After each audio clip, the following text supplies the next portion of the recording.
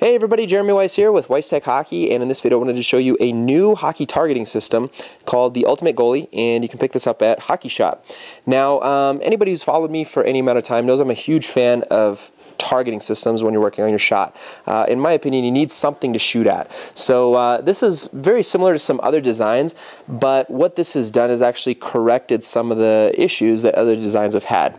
So this straps into any regular full-size hockey net. I'm using it on the EZ Goal, and you can see I've taken off the backstops just in case you're wondering. Those are removable, and uh, you know if you ever do decide you want to use these, um, use the net without the backstop, you can take them off pretty easily. It's just a couple wing nuts that you unscrew.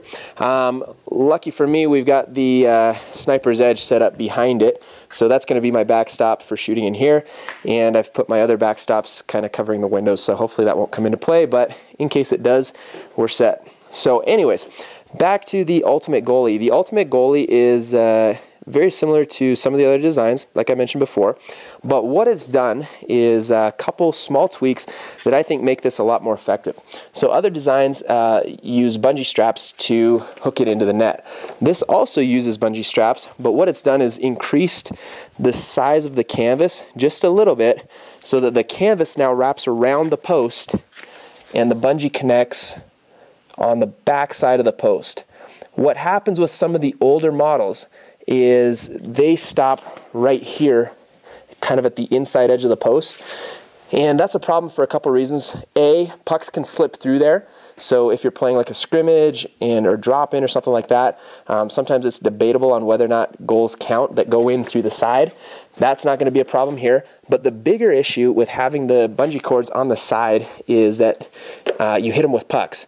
And it doesn't take very long hitting them with pucks before this is one of my old shooter tutors before they completely sever. So you can see that one's broken. This one, I've got it still rolled up obviously, but you can see that's starting to go. This one's almost gone and this one has broken. So that's just a, I mean, that's a pretty typical example of what your shooter tutor will look like after a few years with the bungee cords linking on the side like that. So the Ultimate Goalie corrects that problem.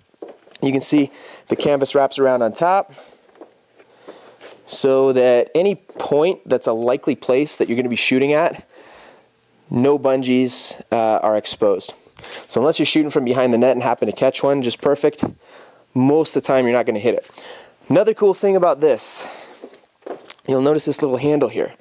And uh, one of the problems, or it's, it's not really a problem, but it's annoying, is fishing pucks out of the shooter tutors. Usually you have to tip the net or uh, you know just get somebody with the stick and fish them all out. You pull this little handle and watch what happens. Hold on, I don't know if I'm kind of one-man show here. Pull the handle and you can see it lifts up the bottom foot of the net. So real easy to scoop pucks out.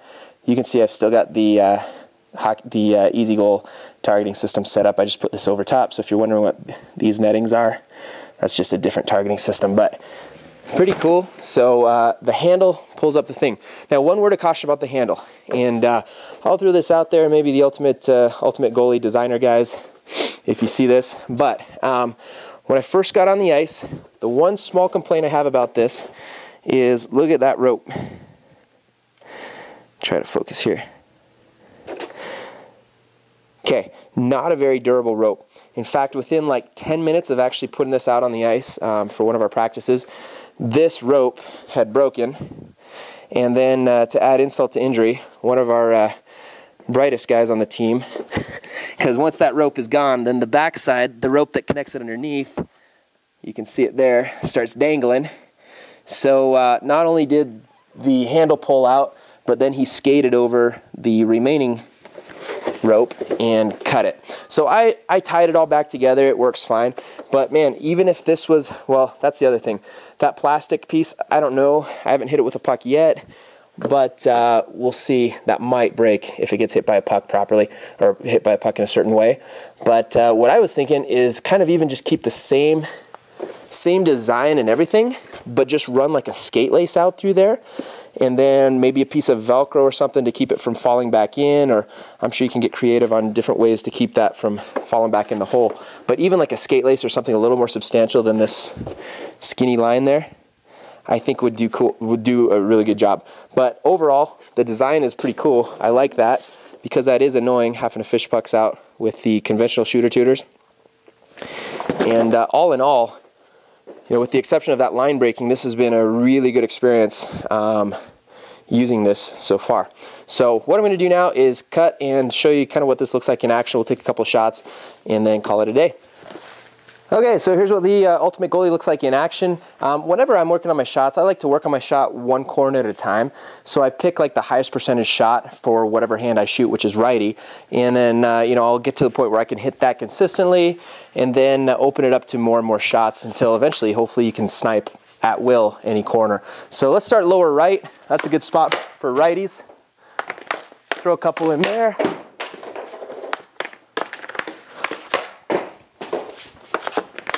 Go upper right.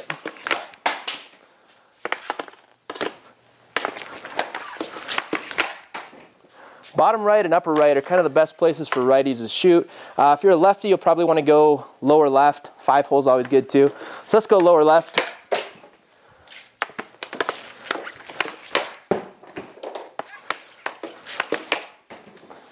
Let's pop some upper uh, upper left as well. Not nearly as high percentage because you got your goalie's blocker, but Always good to be able to shoot there anyways. Then five hole. And then once you've kind of gotten to the point where you can snipe whatever corner you're looking for, um, then I, I, like to try to go five for five. So upper left, upper right, lower right, lower left, and then see if we can go five hole. So I got five pucks left. Let's see if we can do that.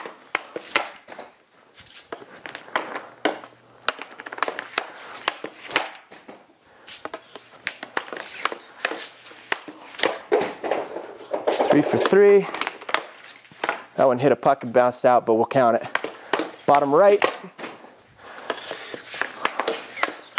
And we're going five hole. Ah, so close. Anyways, that's the idea. Great product. Um, definitely correct some of the mistakes that have been going on with some of the other versions of shooter tutors, but uh, definitely a product I recommend. You can pick it up at hockeyshot.com. And make sure you visit the link in our description for uh, pick up your coupon code and save 10 bucks off your order.